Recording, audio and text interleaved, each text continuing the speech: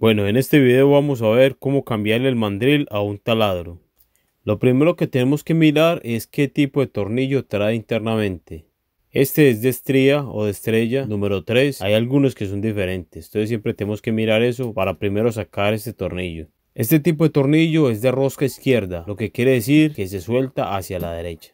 Debemos utilizar el destornillador apropiado porque esos tornillos vienen bastante apretados. Debemos girarlo hacia la derecha. Todos los taladros tienen la misma norma. Este pegante azul es un trabador de rosca. Lo utilizan para que los tornillos no se aflojen solos. Ahora, para aflojar el mandril, nos vamos a ayudar de una llave Allen o una llave de Bristol o una llave tipo L así como esta. Aquí nos vamos a ayudar del mismo mandril para que él agarre la llave y lo ponemos en una posición donde el cuerpo del taladro quede apoyado sobre la mesa y le vamos a dar un golpe en seco con un martillo. Ojalá sea uno como este de goma.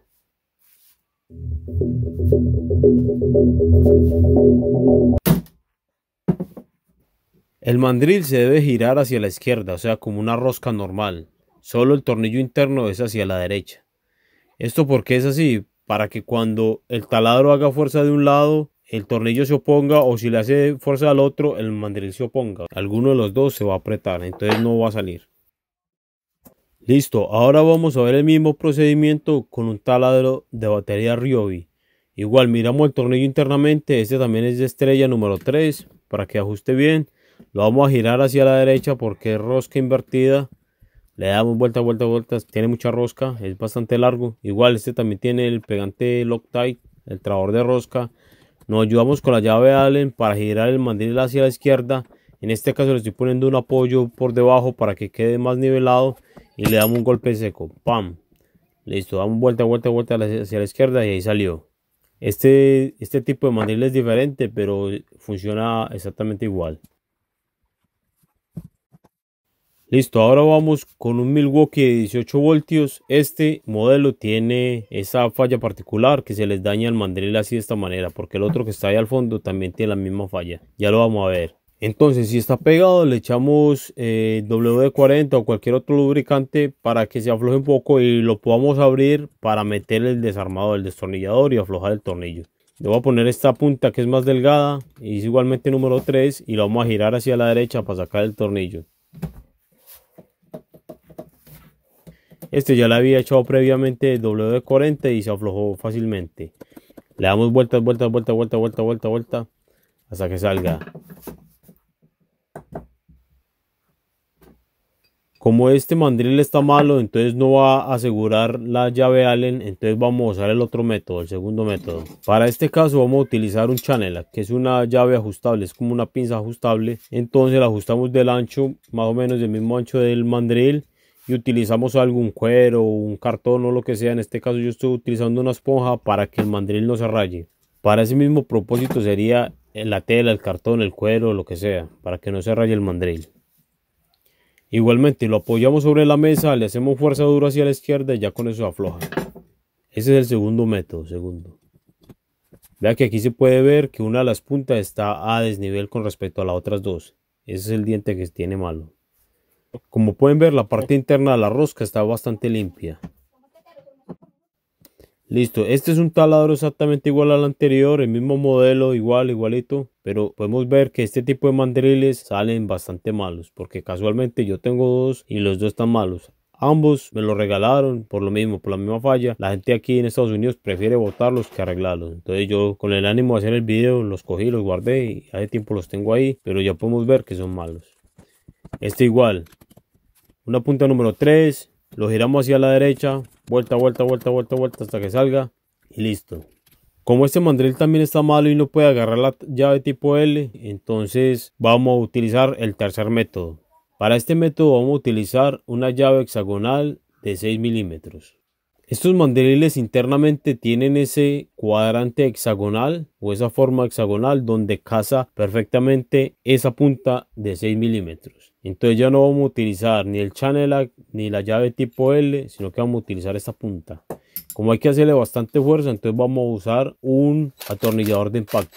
Entonces igual le vamos a dar hacia la izquierda, hacia la izquierda, que bastante, bastante, bastante hasta que afloje y listo. Voy a hacer un video donde voy a tratar de arreglar estos dos mandriles, a ver si se pueden destapar, cómo es la cosa, qué tienen de malo y cómo se puede solucionar, a ver si se puede.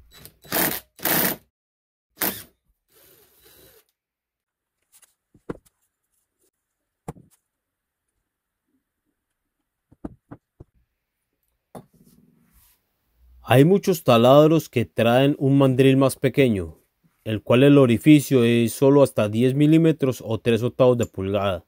Entonces hay muchos accesorios que no le sirven. Al otro mandril, como es un poquito más grande, que es de media pulgada o 13 milímetros, a este sí le caben la mayoría de los accesorios. Accesorios y brocas y todo esto. Entonces, cuando uno tenga un taladro de estos y tenga un mandril bueno como el que está a la izquierda, como cualquiera de estos dos, entonces lo podemos reemplazar. Entonces el procedimiento es el mismo. Miramos qué tipo de tornillo tiene. Este por ejemplo es un Torx número 20. Buscamos la punta apropiada porque como hay que hacerle bastante fuerza tiene que quedar precisa. Igual usamos un desarmador y lo giramos hacia la derecha. Pan, este estaba un poco flojo pero eh, la mayoría vienen apretados. También ahí podemos ver que también tenía el Loctite, el trabador de rosca. La llave que estamos utilizando ahora ya no nos cabe, entonces tenemos que utilizar una más delgadita. La fijamos, la ponemos así en ángulo. Siempre hay que quitar la batería para evitar accidentes. La ponemos y le hacemos fuerza. Esa también estaba floja, esa parte. No hubo que pegarle con el martillo. Listo, lo sacamos. Aquí podemos ver que el ancho de los dos mandriles externamente es el mismo. O sea que le va a casar exactamente igual a cualquier taladro. La única diferencia es la parte interna. Que el hueco es más pequeño o en este otro es más grande. Para apretarlo usamos la misma llave tipo L, la apretamos con el mandril y le hacemos fuerza.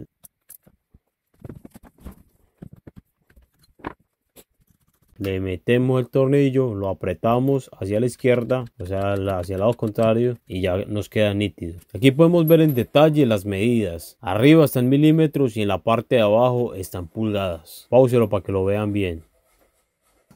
Todos los mandriles vienen con la marca en milímetros y en pulgadas. Todos lo traen, todos lo traen. Bueno, puede que haya alguna excepción que no lo traiga, pero como podemos ver aquí la mayoría lo traen. Cuando van a comprar un taladro siempre miren eso, que el hueco sea de media pulgada o 13 milímetros para que sea el hueco más grande. Por el problema tan grande que representan estos mandriles de hueco pequeño es que existen estas brocas y accesorios con el vástago reducido como esta que estamos viendo acá para poder que entren en este tipo de taladros, ya que hay mucha gente que compra este tipo de taladros sin saber. Recuerden suscribirse y darle dedo para arriba. Nos vemos en otro video. Todo bien.